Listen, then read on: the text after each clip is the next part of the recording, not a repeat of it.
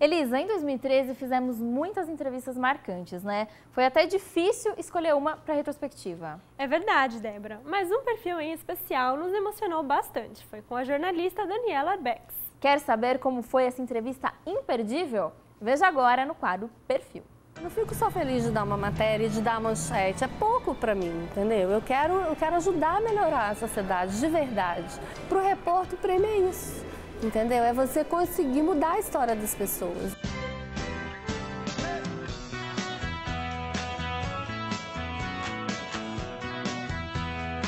Eu saí da faculdade em 95, tenho 18 anos. E naquela época não se falava em jornalismo investigativo, ele, a gente conhecia pouco né, é, sobre isso. Eu nunca tinha pensado sobre isso. Só que eu sempre fui uma pessoa muito indignada, assim.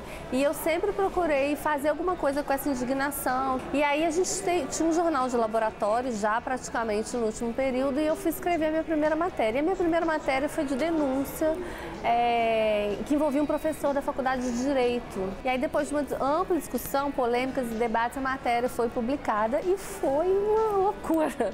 Então, assim, olhando para trás, eu vejo que esse é um caminho que eu segui naturalmente, não foi nada planejado, mas que ma marcou a minha carreira desde o início.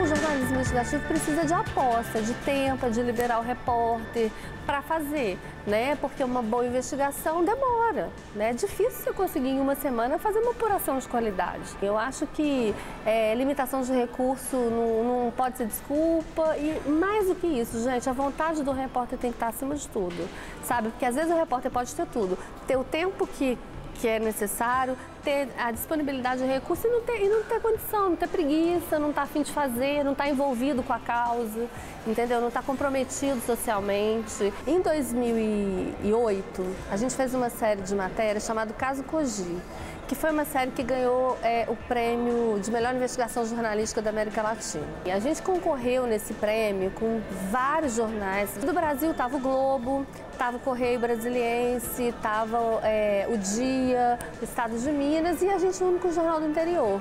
E assim, tinham matérias grandiosas que custaram muito dinheiro, de jornalistas super renomados e tal. A gente foi a zebra do evento, assim, nem a gente acreditou que a gente tinha ganho. Todo mundo falou quanto custou cada matéria. E aí um falou 10 mil dólares. Eu falei, ai meu pai.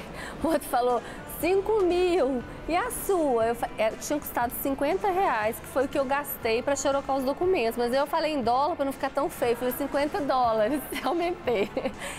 E o que, que os jurados falaram? Por que, que a gente ganhou?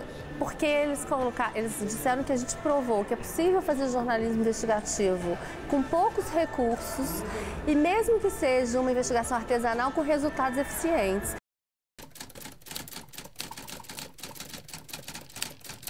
Uma discussão muito interessante lá no jornal, assim, que eu escuto muito assim, há matérias maiores, de fôlego, às vezes o leitor não chega até o fim. Isso não existe.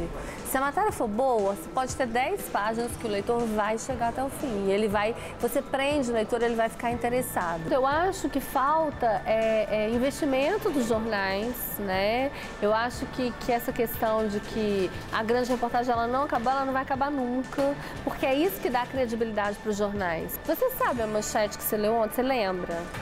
Você lembra? Alguém aqui lembra a manchete? Ninguém lembra. Mas a grande reportagem, que geralmente são matérias que conseguem ir a fundo, provocar essa reflexão e às vezes transformar, essas matérias são esquecidas.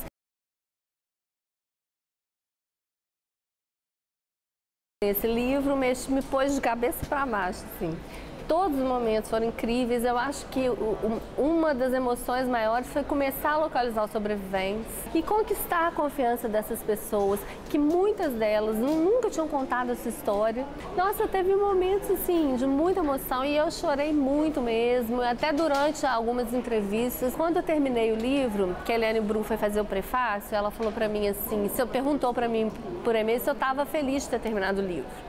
Eu falei para ela que sinceramente ainda não porque enquanto eu não conseguir dividir essa história com as pessoas, eu não vou ficar plenamente feliz, porque está pesando muito muito. Eu fiquei um ano guardando isso para mim. E eu acho que o livro vai ter esse papel, é de provocar uma reflexão para o futuro, de que modelos de atendimento a sociedade brasileira vai querer continuar tendo. A gente finge que não vê todos os dias. A gente só enxerga quando a, vítima é da classe média e classe alta. Aí a sociedade se mobiliza, a sociedade vai para a rua. Você já viu a sociedade para a rua para falar das vítimas do Carandiru, para falar das vítimas de chacina na favela? Eu nunca vi. Entendeu? Por quê? Porque a gente ainda acredita que tem, existem vidas que valem menos.